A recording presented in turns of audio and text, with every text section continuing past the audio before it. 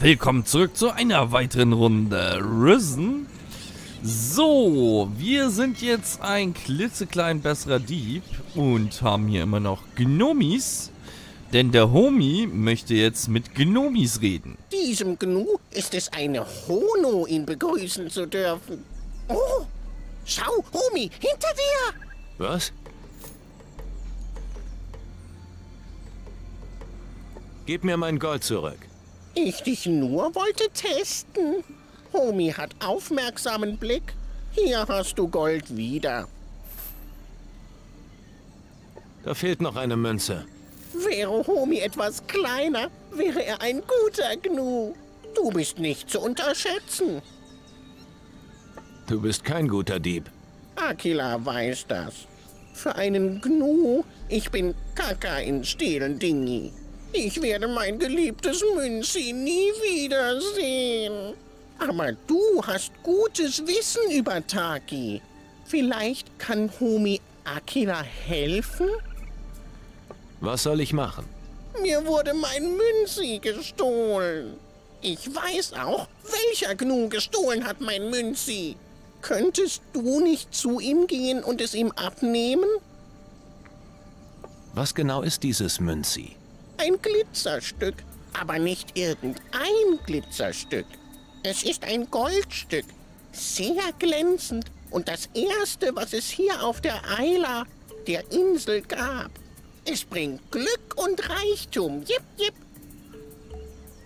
Was habe ich davon, wenn ich dir helfe?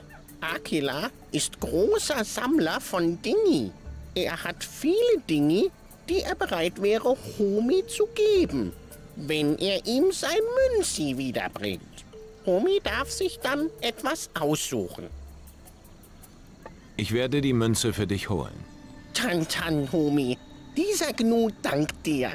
Ich glaube, der Gnu Fidur hat mein Münzi geklaut. Er wohnt in Kawa, nicht weit von hier. Geh und guck in Hütten. Ich bin sicher, du wirst ihn finden. Seine Hütte ist die südöstlichste Hütte von unserem Dorf, Homi. Direkt links neben unserem Friedhof. Okay, der Glückszahler. Ah, dann gucken wir uns aber hier nochmal kurz bei dir hier ein bisschen um. Hey, Atto, Atto! Hey, Atto, Atto? Okay. Gefällt Ihnen jetzt nicht, dass wir jetzt hier plündern? Mal sehen, gehst du jetzt schlafen, mein Kleiner? Oder stört dich das jetzt überhaupt nicht? Hm. Tutslova? Ah, ich glaube, es stört ihn auch nicht, dass wir jetzt hier Plündi-Plündi machen. Hey, Tutaki? Ja, Tutaki. Es scheint ihn nicht zu stören. Wir haben hier noch eine Gabel. Hey, Atto, Atto! Hey, Atto, Atto. Und dann begnüge ich mich doch nochmal mit der Kiste. Wenn er nichts sagt, dann wird auch nichts gemacht. Maki, Fisch und nee, Wasser. Nee. Doch, doch. Aber keine Angst, dafür kriegst du deinen Münzi. So als Gegenleistung. So, hier oben waren wir auch noch nicht. Mal sehen, wer hier so zu Hause ist. Hm, erst... Ah, Fidur. Und Homie? Tu dango gno? Me gno klopper kopper.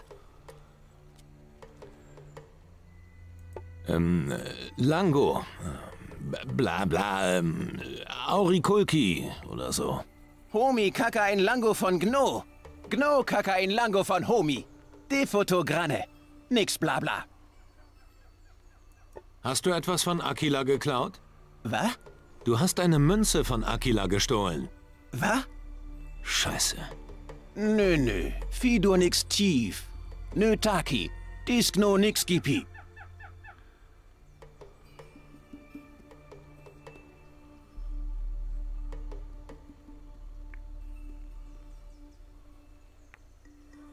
Du verstehst mich besser, als du zugibst. Jip jip. Homie Lango klopper ein Kopper. Dann bla bla tu Fidur. Was ist 3 plus 3? Was? Ach, nix. Ah, Homie ist gut. Fidur respektiert guten Dieb. Plötzlich spricht es. Du haben Gnos Schwächen geschickt genutzt und dich bereichert. Sehr gut für einen Homie. Du darfst Münzi haben. Okay. Geh, Homie. Dieser Gno hat Sachen zu denken. Ja, gut. Hey, Tutaki. Dann, ne? Hey, Ato Ato. Atto, Atto. Genau. Nee, nee. Ich nehme trotzdem alles mit. Was ich in die Finger kriegen kann. Ist leider nicht viel. Kann ich hier die Kanonenkugeln auch mitnehmen? Nee, schade. so, dann haben wir das Münzi. Golmo braucht Hilfe, Homie. Hast du meine Mützi gesehen, Homie? Deine Mütze? Wie sieht sie denn aus? Ach, nicht so wichtig, Homie. Ich werde sie schon finden. Münzi, okay. Ich habe deine Münzi bei mir. Jip, jip. Sehr gut, Homie. Gib sie mir. Hier hast du. Du hast sie nicht mehr bei dir? Homie, du Kakakopper hast dir meine Münzi klauen lassen. Sieht wohl so aus. Erinnert Homie sich an einen Gnu, der ihn vielleicht hat angerempelt? Ein Gnom hatte mich angesprochen. Weißt du noch, wer dich angesprochen? Er hieß Golmu. Ich mir habe das schon gedacht. Golmu ist sehr ehrenhafter Dieb. Sehr guter Gnu. Wir alle stolz auf ihn sind. Geh zu Golmu und hol mir meine Münzi wieder, Homie. Ich dich werden gut belohnen. Okay, finde den Dieb. Gut, dann auf zu Golmo. Da hat er mich einfach angesprochen und beklaut. Jetzt ist aber die Frage, wo ist Golmo? Ein Homie. Ein echter Homie. Meinst du mich? Jip, jip. Ich noch nie gehandelt habe Dinge mit echtem Homie. Du bist Händler? Jip, jip. Nanuk nur die besten Dingis in seinem Lager. Ich dir verkaufen gegen Glitzerdingis. Tredo, tredo. Okay, ein Kochlöffel erhalten. Ja, immerhin was. Kann ich von dir etwas lernen? Jip, jip. Krämer steigern. Niemand kann dich übers Ohr hauen. Dir würde sogar gelingen, einen Kaufmann seinen eigenen Waren zu verkaufen. Händler gewähren dir einen Rabatt von 5% pro Stufe. Ja, könnte man, habe ich aber nicht mehr genug. Äh, Lass uns Tredo machen. Jip, jip. Äh, Goldo. okay, nur die besten Dinge. Ne? So beste Dinge sind das jetzt aber nicht. Gut, äh, ja, was gebe ich dir jetzt? Damit ich mal wieder zu Dingi und Goldi komme. Ne, komm, die Knarre kann ich dir geben. Die doppelläufige. Die kann ich dir eigentlich alle geben, weil ich wollte hier nur auf, die, auf der Armbrust bleiben. Bei den Kristallschmuck bin ich mir immer noch nicht sicher.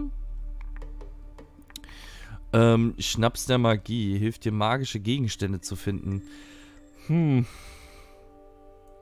Ich bin ehrlich gesagt nicht so begeistert davon. Deswegen ein behalte ich jeweils, falls wir mal irgendwann was brauchen. In der Richtung. Aber jetzt momentan so eher nein. Was da wohl drin ist. Okay. So, die Schatulle können wir ihm geben. Nach dem neuesten Erkenntnisse der Wissenschaft gefertigt, okay. Ja, ich weiß halt hier immer noch nicht so, was wirklich äh, Müll ist und was nicht. Aber ich würde erstmal so den Handel akzeptieren. Kann ich von dir etwas lernen? Jip, jip. Und dann Crema. Zeig mir, wie ich beim Handeln mehr rausschlagen kann. Homie ist guter Piwi. Gut, und der nächste Crema List 40 und 1000 Gold. Ja, haben wir leider nicht mehr. Gut, dann sind wir jetzt auch ein Crema geworden. Aber wo ist jetzt... Äh, wir könnten erstmal was anderes machen. Und zwar ich jetzt erstmal alles. Und zwar wollte ich mal gucken, ob ich die eine Schatulle nicht aufkriege. Geschafft. Ah, 20 Gold. Ja, okay. Die Muscheln können wir auch nochmal... Wer sagt's denn? Runenhaut, okay. Wer sagt's denn? Wer sagt's denn? Na also. Dann nochmal ein paar Perlen öffnen. Ähm, schade, dass ich das alte Wissen nicht benutzen kann. Vielleicht irgendwie sowas steigern oder so. Nee, geht alles nicht. Expedition, das sind einfach Bücher. Astralquarz.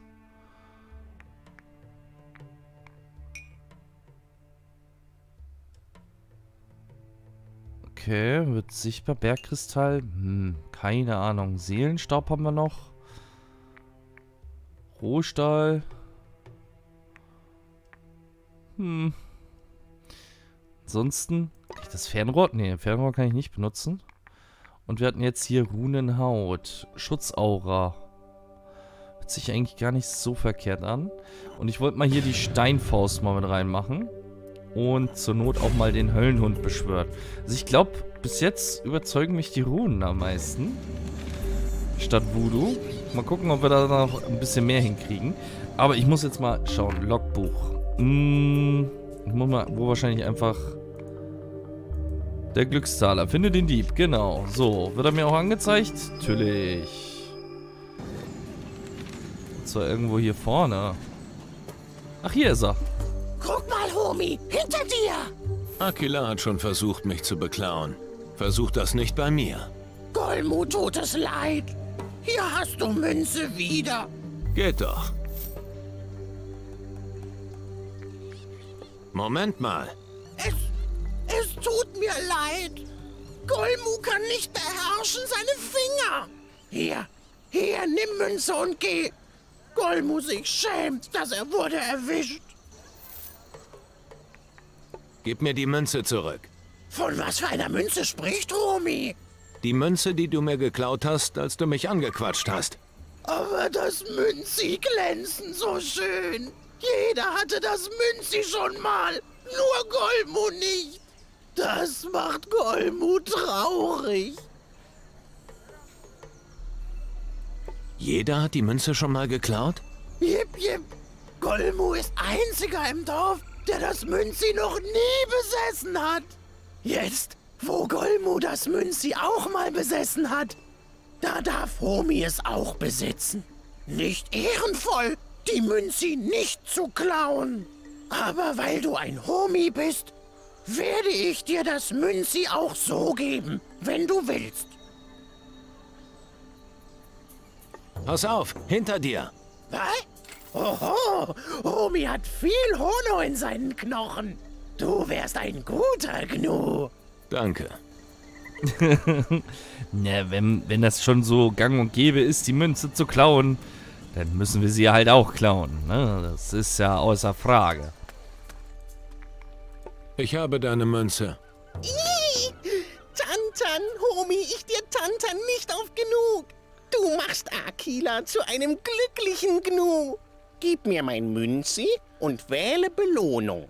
Ich habe für dich eine Perlenkette ohne Kette, etwas Gold, das besteht aus Stein oder ein heiliges Dingi. Ähm, Nimm die Perlenkette ohne Kette. Gib mir das Gold aus Stein. Ich will das heilige Ding. Ich nimm mal das heilige Ding, weil die Perlenkette ohne Kette. Das heißt, er gibt mir eine Perle. Gib mir das Gold aus Stein. Das ist wohl wahrscheinlich gemeint mit ähm, Goldklumpen, also Golderz. Und ich will das heilige Ding. Dingi-Ding. Ich will das heilige Ding. Please, Homie, nimm es als Dank eines glücklichen Gnu. Du hast mir sehr geholfen. Dieser Gnu nun glücklich. Okay, wir haben eine Krone gekriegt. Ja. Ich hoffe nochmal, das war jetzt eine weise Entscheidung. Können wir mit dieser Krone vielleicht irgendwas machen? Krone, Krone, Krone. Äh, Die hat einen Goldwert von 150. Na, immerhin. Immerhin. Besser als nichts. So, haben wir hier sonst noch irgendein Gnot noch nicht begnot? Okay. Hier hinten ist... Achso, hier ist zu. Ah, die Spitzhacke kann ich mitnehmen. Das hier hinten nicht sogar das, die Ecke, wo dieser riesige Troll damals... Ja. Sowas in der Richtung hatte ich mir schon gedacht. Bloß, dass das kein Troll ist hier. Sondern ein... Was war das? Sumpfgolem?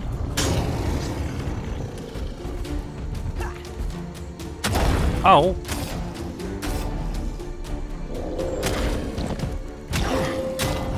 Okay, gucken wir mal, ob wir den zu zweit nicht klein kriegen.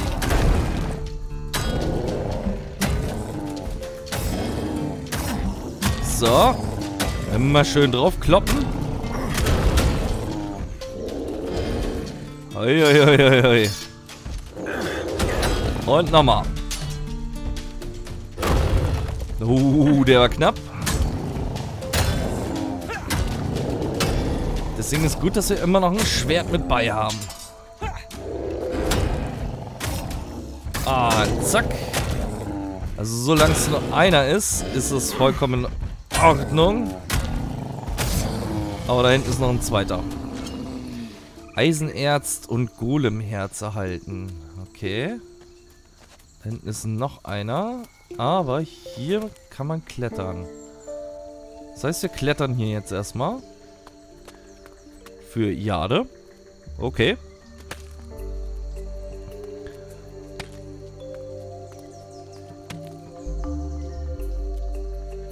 Ja, das passt schon mal. Hier kann man auch raufklettern. Für Golderz. Okay.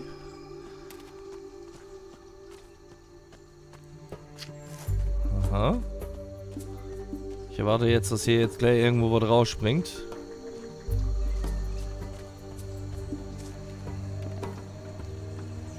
Ach, nee. Das ist einfach nur hier, um einmal an der Seite durchzukommen. Okay. Also außenrum. Und hier geht es dann zum Strand irgendwie. Und dann können wir hier wohl wahrscheinlich die Strandrunde machen. Ja, mal gucken. Einfach mal durchlaufen. Warum nicht? Wir müssen ja sowieso noch deutlich geschickter werden. Und den äh, Goblin-König auch noch töten. Das heißt, einfach mal ein bisschen aufpassen hier. Da hinten haben wir ja noch einen Felsengolem und ich liege einfach so Gold rum. Okay, hier liegt auch nochmal ein Gold. Wer hat denn da seinen Goldsack platzen lassen? Au, der tat weh. Im rechten Augenblick ausgewichen. Und jetzt... Au.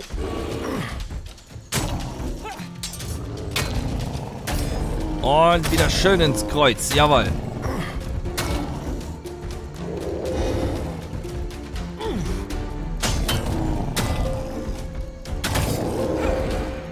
Okay. Angriffsmuster von den Sumpfgolems gehen aber eigentlich. Und nochmal schön ins Kreuz hier. Das war heftig. 400 äh, Ruhm geben die sogar. Finde ich gar nicht so schlecht. So, wir können jetzt auf jeden Fall wieder was steigern.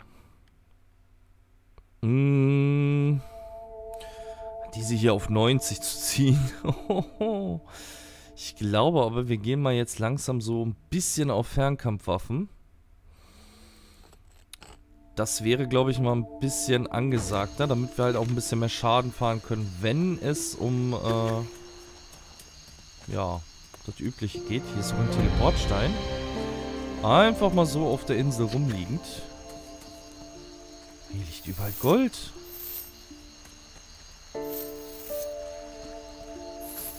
Hier auch nochmal.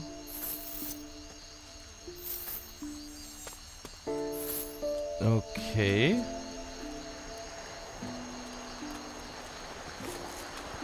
Wer hat denn hier sein Gold verloren? Nicht noch mehr Gold. Meine Güte. Sogar ein Goldklumpen. Ein Kerzenhalter. Hoppala.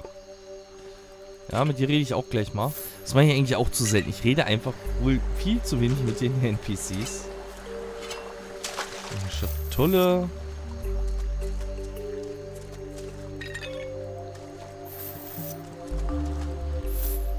Paddel kann ich nicht mitnehmen? Schade. Ja, Moment, ich will hier noch weiter plündern, falls hier... Ja, hier ist noch ein Goldmünzchen. Aber jetzt sehe ich nichts mehr. Jetzt können wir noch mal uns unterhalten. Was denkst du über diesen Ort? Die Jungs hier machen es richtig. Die Gnome nehmen den ganzen Quatsch da draußen nicht so ernst. Naja, sie haben ja auch genug eigene Probleme. Mag sein, aber selbst wenn es ihnen besser gehen würde, glaubst du, dass sich je ein Gnome gefragt hat, welche Macht wohl morgen die Weltherrschaft übernimmt? Nö, das glaube ich nicht. So, jetzt können wir noch mal gucken, ob hier nicht irgendwie... Aha. Ein Sandteufel.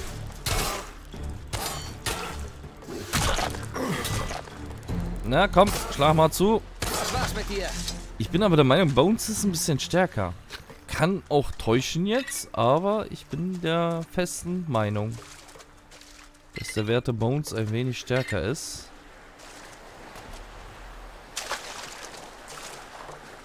Was hat jetzt hier Rums gemacht? Ist da oben jemand?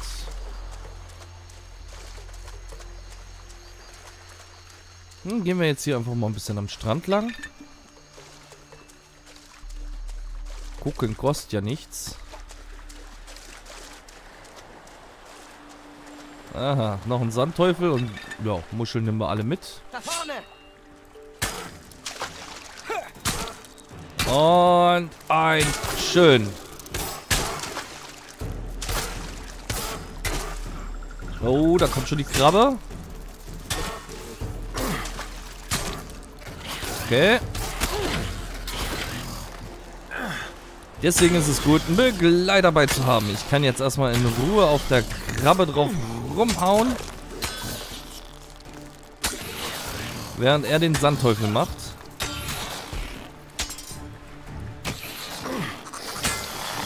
So. Und zack. Und tschüss. Naja, ein Kampf war es jetzt nicht. Aber wir müssen ja irgendwie tun, dass unser Inventar sich füllt. Und das füllt sich am besten, wenn wir jetzt die Gegner ausnehmen. Und Muscheln am Strand sammeln. In der Hoffnung, da wieder... Wow! Dingi aus Perlen kriegen.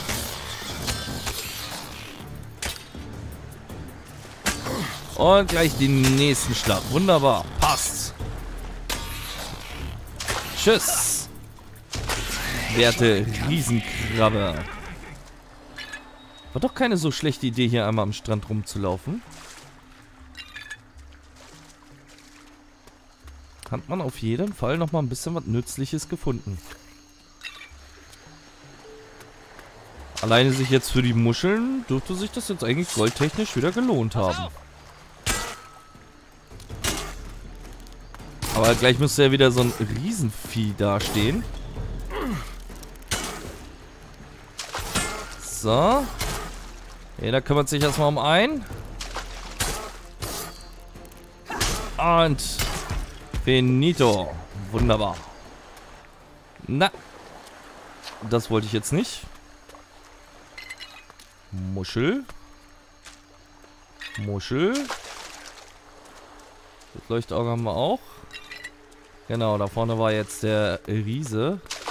Die Viecher gibt es wirklich überall. Ja, das stimmt. Da gebe ich dir voll und ganz recht. Du hättest abhauen sollen. Na, das hätte auch nichts gebracht. Dann hätte ich ihn erschossen. So, bist du Leviathan? Okay. Je größer der Bis- Gegner, desto größer der... Mm, Sehr, sehr fix. Oha.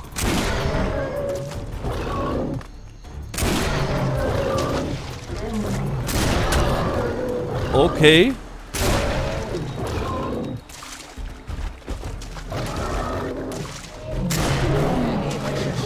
Uiuiui. Der war ja mal richtig fix. Da wusste ich jetzt nicht, soll ich jetzt nun oder soll ich nicht? Hat sich das jetzt aber gelohnt, den ums Eck zu bringen? Ist jetzt die Frage. Weil er stand ja eigentlich nur hier.